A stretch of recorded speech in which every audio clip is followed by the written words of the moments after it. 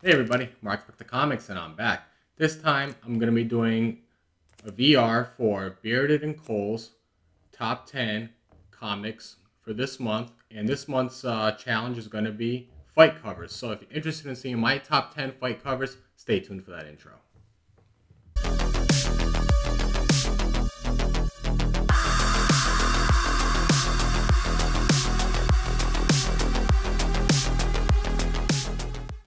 Back. If you haven't already, please don't forget to like, share, and subscribe. Hit that bell notification so when I do put out some content, you get it in a timely fashion. So I'm excited today because I want to be showing you guys my top 10 covers for the month of November for his challenge, which is fight covers. And I'm pretty excited because fight covers, you know, they do attract me when I see a really good fight cover. I want to say a good chunk of my collection is you know, fight cover related, some action sequence, just something, you know, eye popping that, you know, that just gauges me. So, um, I'm going to show you my top 10 covers. Um, not necessarily my best, not the worst. Um, what I wanted to kind of focus on is just show you 10 covers that hasn't yet been shown during the video challenge. Um, some covers you may have seen before, some you may not be familiar with. And uh, so we'll just stick to that. Um, so in no particular order, you know, like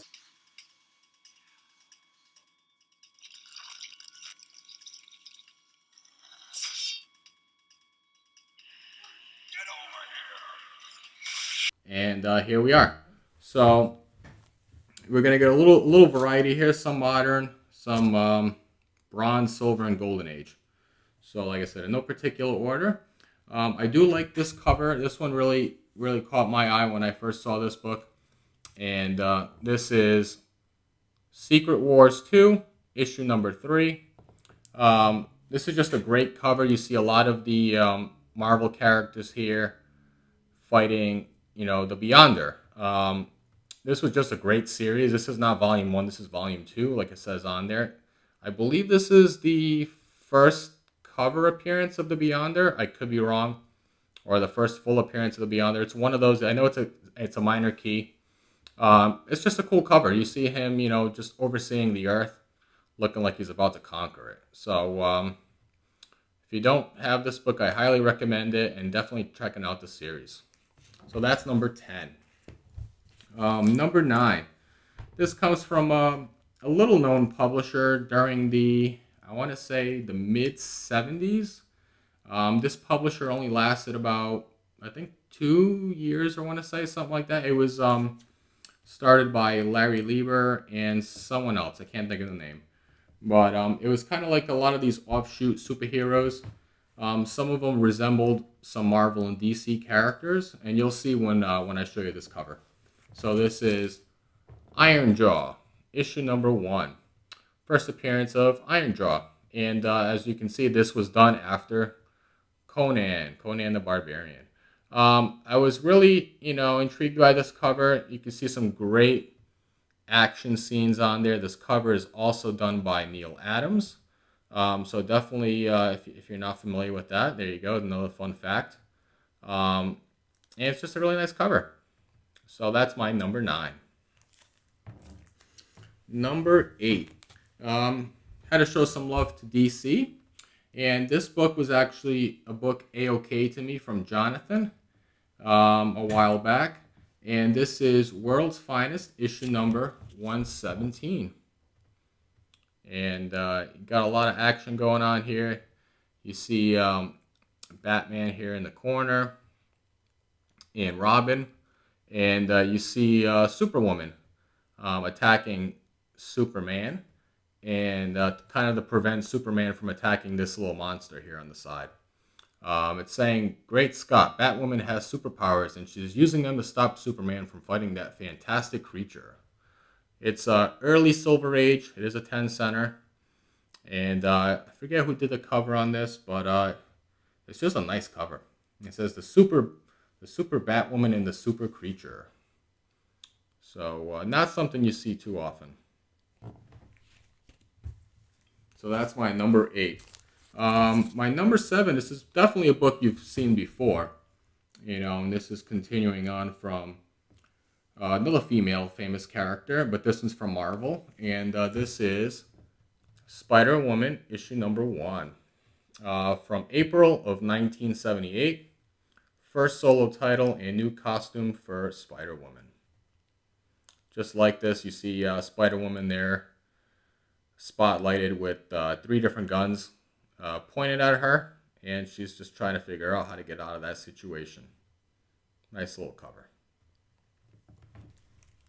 I don't have the uh, Marvel Spotlight, her first appearance, but this is the next best thing. Um, I am going to show an indie book, of course, because I do love my indies, and uh, indies are notorious for having some really gruesome and action and fight scenes. So um, this was a fun series. I want to say that came out maybe three, four years ago, and uh, this is Die Die Die, issue number one.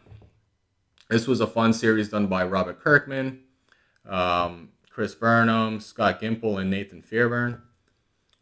This was one of the uh, variant covers. So cover A looks exactly the same as these, but um, you get the word bubbles and uh, on this one. And this one says, I'm Paul. This one says, I'm Nate. And then the character at the bottom that is supposed to be like a, I don't know, a version of like Hillary Clinton says, I'm drunk. But as you can see, a lot of, you know, the cover there, it's very violent, very gruesome. And that was like a lot of the series. So if you got any of the covers from, like the cover A's from this series, they're very bloodied, um, very action sequenced. But I decided just to pick the first one I got in there, which was uh, cover uh, from issue number one. So uh, there you go. So that is my number six. So number five we're going to be going back to DC, and we got another early book. This is Detective Comics, issue number 296. Got another good action uh, fight sequence there between um, Batman, Robin, and Planet Master. Um, another little known villain. I believe this is the first appearance of Planet Master. Uh, you can see there, he's throwing one of his, uh, I don't know, space rings.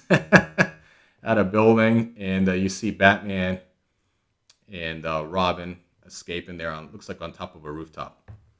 So it says, "Look out, Robin! He's using Saturn's rings, as you can see there. Saturn's rings as devastating weapons." Um, I bought this book probably about four or five years ago for like I don't know 40, 50 bucks. So I thought that was a good buy. Um, so that's my number five, right? Yep, number five. So my last four, or my top four, are going to be all slabs, and uh, they're going to be some pretty cool books, in my opinion. Um, so, number four, we got Captain Marvel. Oh, sorry, Marvel Superheroes, issue number 13, and this is uh, featuring Captain Marvel. And uh, this is the uh, first appearance of Carol Danvers. Um, second appearance of Captain Marvel. It is a Roy Thomas story, and you can see I got a signed by Roy Thomas there in the middle. I got actually I got this signed by him last year at um, at a comic show in uh, in Providence, so that was really cool to meet him again and get this signed. Um, so I got this out of 6.0, which was really cool, you know. But uh, really nice action sequence. You see there Captain Marvel fighting this um, uh, the Sentry, I guess. I never read this issue, but uh, I just thought this was a great cover. So that's my number four. Um, number three, this is a book very important to me as uh, Moon Knight is my favorite character, so I figured I gotta have a Moon Knight book in here to kind of celebrate the uh, fight covers. And if you have any Moon Knight books, you know that Moon Knight is notorious for his fight scenes. So uh, none other than getting his first appearance on here would be would be the, would be a disservice. So this is uh, Werewolf by Night, issue number 32. Uh, first appearance of Moon Knight, Mark Spector. So uh, obviously, classic cover. You see um, Moon Knight fighting Jack Russell. And uh, if you ever read this issue, it's uh, pretty violent. Um, he beats the crap out of Jack Russell, nearly kills him in the issue. but um, just a great, great cover, in my opinion. All right. So that's number three. And then the last two are going to be in the Golden Age. So um, I do like collecting war covers. So uh, this one is going to be coming from 1945, which was right towards the end of World War II. And we got Real Life Comics. This is issue number 23. And this is a nice Alex Schomburg cover. Uh, you can see here says Private Johnny Fuentes. And they usually in this series spotlight a bunch of characters on the covers. Um, this is obviously a war cover. You see them, you got a tank in the background, a tank with some Nazis. You can see these little soldiers there in the green have the uh, uh, some some uh, swastika bands on them, and you got some um, American soldiers fighting against them. So this is a real nice way to get into um, Schomburg covers without paying um, Marvel like timely Schomburg prices. So this is a real affordable Schomburg cover. So that's my number two. And uh, my number one is quite possibly my favorite fighting cover in my collection. Um, if you're a fan of Frank Frazetta, you'll probably recognize this book without me even showing you the cover that I'm talking about, if you're familiar with his artwork. And uh, this is going back into the Weird Science Fantasy and uh, this is Weird Science Fantasy issue number 29 from 1955. So, uh, classic Frank Frazetta artwork, as it says there on the label. Um, so, funny thing about this cover, initially, this was supposed to be part of Famous Funnies series. So, if you're familiar with the uh, classic Frank Frazetta covers from Famous Funnies, I believe it started right around like 207, 208, and it ran till um, 216. So this was supposed to be that last issue, I think 217 or 218, whatever that um, existing issue is. But um, they ended up finishing that series and then they added it on to Weird Science Fantasy, which is also the last issue as a, um, I believe, yeah, last pre-code issue in the uh, in the series. So that's why typically you see the weird science fantasies are more sci-fi covers, and this one's actually like a fighting cover. But then they added that uh, little rocket there on the side, like they do for that series. So that's a little uh, fun fun uh, fact about this book. Um, I just love this cover. You can see this uh, all these like you know cave caveman on there fighting. Um, Frank Frazetta is known for doing great anatomy in his uh, artwork. So you can see this exemplified in the cover.